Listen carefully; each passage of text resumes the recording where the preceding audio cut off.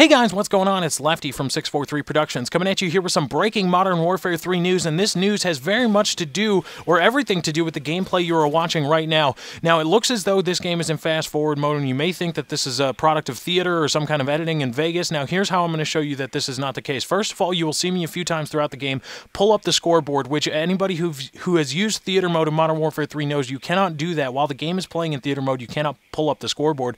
And second of all, I'm going to be quiet real quick.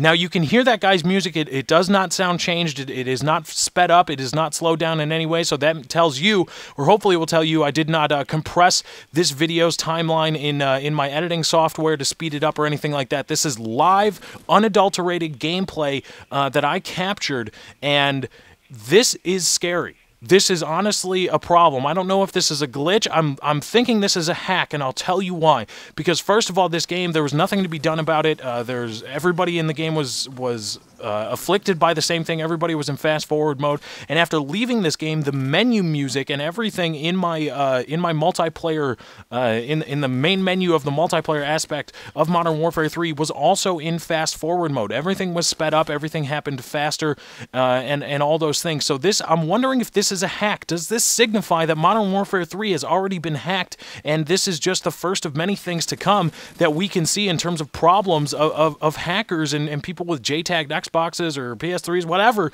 getting their hands on this game and altering it because this is not fun. This was not cool. Maybe it's a glitch. Maybe it's just a happenstance thing with the coding. I don't know. But, uh, you know, everything that I've researched, everything that I've looked at uh, points me towards this being a hack, and this is not good. This needs to be found, and this needs to be addressed. But anyway, guys, thank you for joining. Be sure to drop a like on this video. I got to get out of here. I hope you enjoyed. I am out.